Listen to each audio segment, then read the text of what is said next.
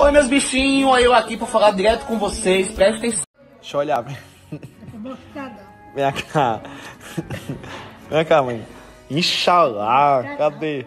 Luca. Lucas já caiu a moda. Lucas, safado. Safado. Lucas, a bocão tá lhe chamando. Botou mais um pouco a ela, não foi? De fazer o quê aqui na produção lugar? Você vai gostar no mundo aí.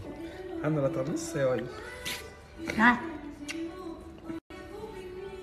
Tão bonitinho. Você foi dizer que eu fiquei colado da teca, da farinha, não foi? Oxi, que, Mulher, polêmica, eu que, falei. que polêmica é essa? Eu não sabia. Eu não sabia onde tinha botado. A batatinha show. Me dê essa da minha coleção. vai. Inxalá. É da sua coleção? Da minha coleção. Eu quero o Cadê? relógio mais bonito que esse relógio é feio. Olha, ela- olha o relógio que eu dei a ele. Tá velha, falsa da...